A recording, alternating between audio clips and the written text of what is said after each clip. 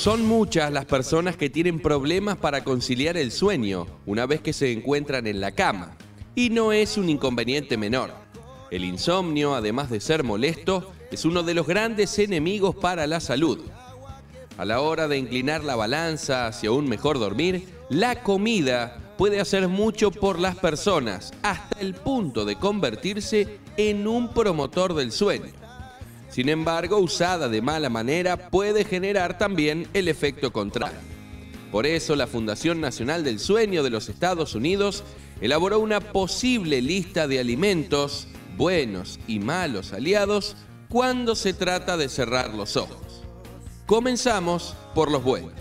La cereza es uno de los pocos alimentos naturales que contiene melatonina, la sustancia química que ayuda a controlar el reloj interno del cuerpo. La leche.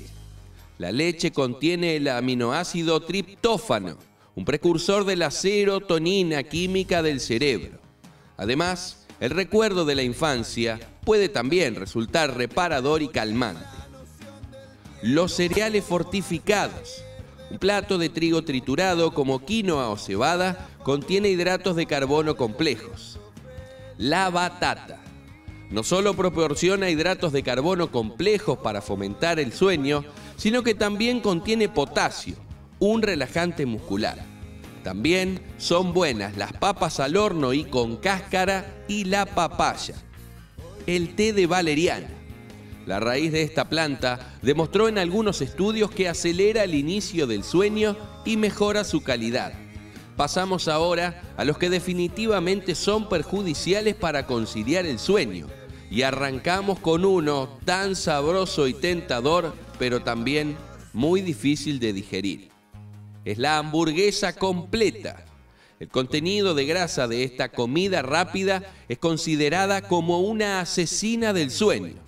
La grasa estimula la producción de ácido en el estómago que puede extenderse hacia el esófago causando una profunda acidez.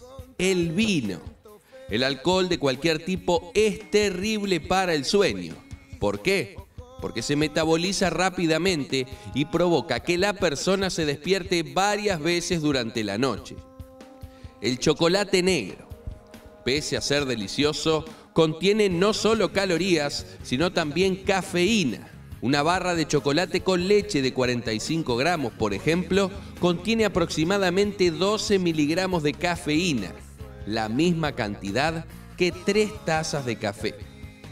Y por último, el pollo.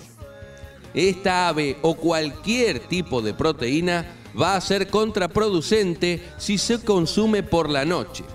Es que en lugar de centrarse en dormir, el cuerpo se estará concentrando en la digestión una solución puede ser la adición de un carbohidrato como guarnición, que puede inclinar la balanza de nuevo hacia el tan necesario sueño.